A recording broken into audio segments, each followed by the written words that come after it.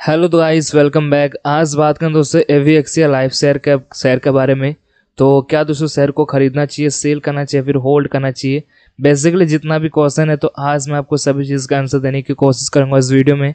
तो आप वीडियो को एंड तक वॉच कर सकते हो और चैनल को दोस्तों सब्सक्राइब नहीं लड़का का जल्दी से दबा दो उससे काफ़ी ज़्यादा मोटिवेट मिलती है और वीडियो का एंड तक वॉच करो, काफ़ी कुछ इंपॉर्टेंट बातें हैं। तो जैसा दोस्तों, आज मैंने बोला था कि A V X live share का जो प्राइस है, लगभग आठ रुपये फिफ्टी वन पैसे हैं। लगभग थर्टी एट पैसे का लोअर सेट गया है और four point twenty seven percent का इसका ट्रेडिंग वॉल्यूम काफ़ी कम है।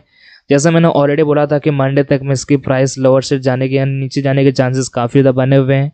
और आज हुआ भी है और जब से बाज़ार ओपन हुआ था, तब शेयर का प्राइस आठ रुपये चालीस पैसे था।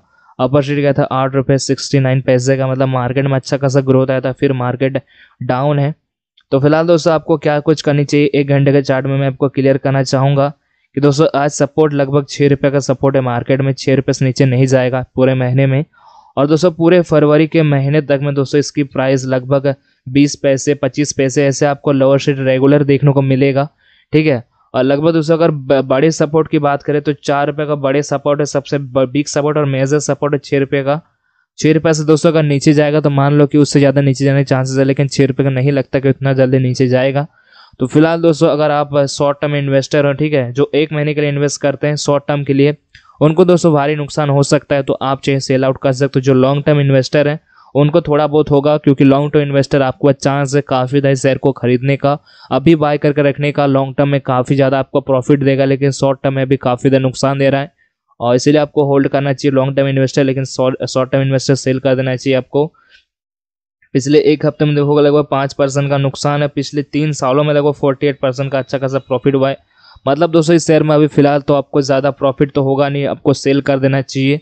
मैं आपको यही बोलूँगा, थोड़ा बहुत। और आज ट्रेडिंग वॉल्यूम ज़्यादा अपडेट नहीं है, ठीक है? अभी तक मार्केट क्लोज नहीं हुआ। जब मार्केट क्लोज हुआ तब इसका ट्रेडिंग वॉल्यूम का अपडेट देख पाओगे। लेकिन छः लाख का ट्रेडिंग वॉल्यूम था ग्यारह जनवरी फरवरी का।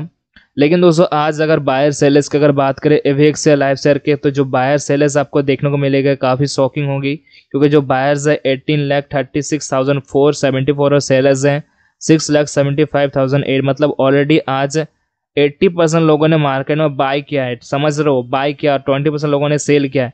तो मतलब दोस्तों बायर्स का अमाउंट काफ़ी ज़्यादा है सेलर से, ठीक है? तो आपको बाई करनी चाहिए। लॉन्ग टर्म इन्वेस्टर मैंने बोला था। शॉर्ट टर्म इन्वेस्टर अपना सेल आउट करेंगे, मैंने ऑलरेडी बोला था। इसलिए आपको लॉन्ग टर्म में देखना चाहिए। शॉर्ट